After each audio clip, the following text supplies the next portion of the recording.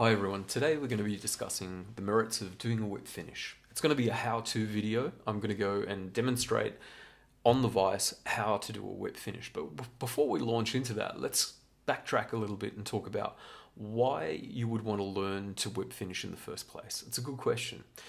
Arguably, you can finish a fly by throwing in a few half hitches, a gob of glue, and you're done. Job done. Yeah, that's a way of finishing a fly. It's not a very neat or efficient way of finishing a fly. It's also not as secure as doing a whip finish, be it with a tool or by hand.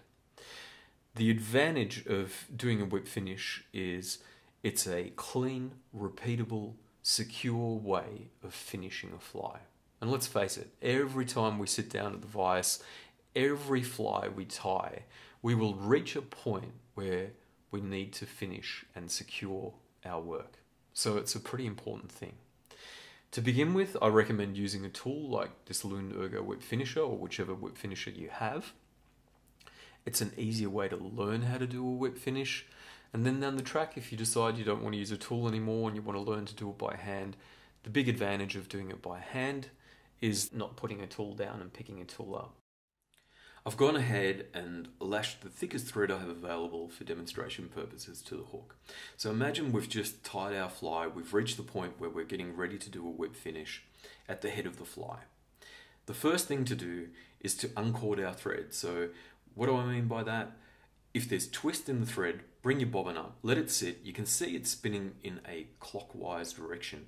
So it's trying to unfurl. I'm, I'm going to help that along by giving it a good spin in the direction that it was trying to uncord. The reason we want to uncord our thread is it's going to make it a much smoother operation when we do our whip finish and go to pull it up. If that was corded, it'd be grabby and worst case scenario, your thread may snap. So pick up your whip finisher, release about a generous two inches of thread, 90 degrees to the hook, and bringing the hook on the whip finisher down, hook it around that thread and now we bring the bobbin, so bring that thread up and around that notch. So let's do that again. Two inches of thread roughly, hook the hook around the thread, come up and over and around that notch. Just release a little bit more thread. So this leg here is the stationary leg it stays in place, it stays parallel. I see a lot of people that struggle to whip finish move both hands when they do the whip finish. Park this one below and parallel to the hook. The leg that's coming off the hook at 90 degrees, the more you maintain that 90 degree position, the better the whip finish is going to be.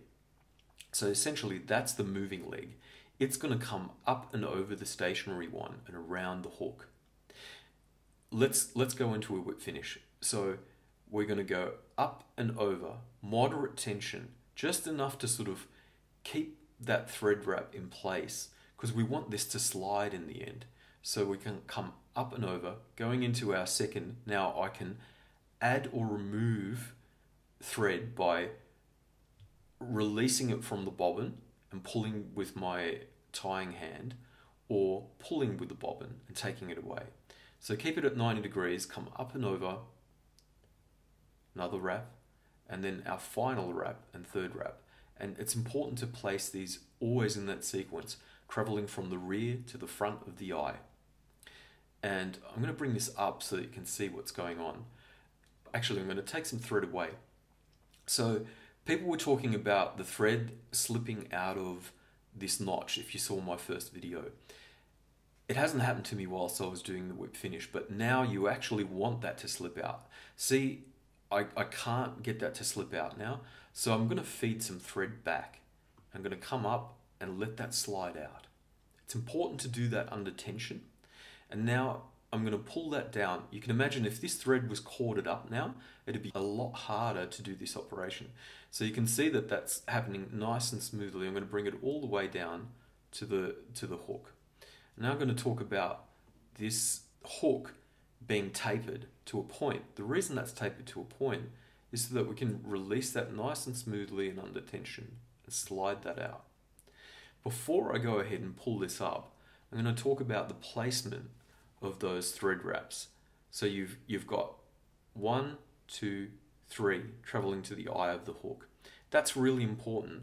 We've overbound the standing leg. So when we go to pull this up now, the maximum tension is going to be on the last wrap being at the eye of the hook. And the least tension is going to be on the first wrap furthest away from the eye. So that's going to create that nice sort of teardrop shape that we want in our head. If we went in the reverse direction, all those thread wraps, wraps are going to bunch up and pull up on themselves and they're not going to be as secure and they're going to be unsightly. To pull it up, always pull in the direction of the barb. So pull away from the eye. Don't hook yourself, just a firm, snug pull backwards. And you can see that that's created that beautiful teardrop shape. Let's do another one for good measure.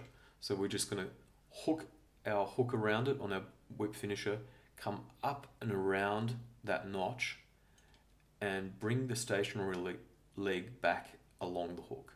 Now we're going to come up and over with one wrap, two wraps forward, and the third wrap at the eye.